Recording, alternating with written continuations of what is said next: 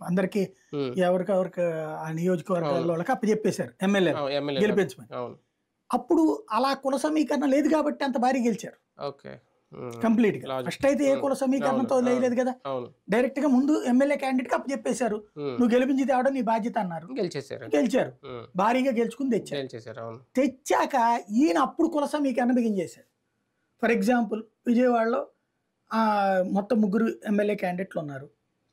మీరు ముగ్గురు కలిసి నాకు నగరాల వాళ్ళని ఒకళ్ళని మేయర్ని పెట్టండి రెడ్లను ఒక బి ఒక మేయర్ని పెడదాం డిప్యూటీ మేయర్ పెడదాం.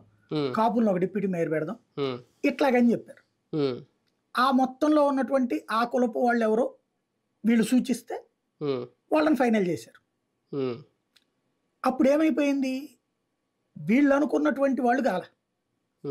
క్యాస్ట్ ఈక్వేషన్ మిస్ అయిపోయింది అంటే సుదీర్ఘకాలం పాటు కొన్ని కొన్ని కులాలకే పరిమితమైనటువంటి దాన్ని మారుద్దాం అనుకున్నాడు మార్చాడు. కానీ జనం దాన్ని యాక్సెప్ట్ చేయలేదు. అది ఇక్కడ పాయింట్ అంటే ఇతను ఆ తర్వాత నుంచి సోషల్ ఇంజనీరింగ్ బిగిన్ చేసి. ఇతను సోషల్ ఇంజనీరింగ్ బిగిన్ చేసి నుంచి ఫెయిల్ అయ్యాడు. ఏమక్కర్లా ఆంధ్రప్రదేశ్లో బీసీ ఎస్సీ ఎస్టీ మైనార్టీ అనేటువంటి సోషల్ ఇంజనీరింగ్ పనికిరాదు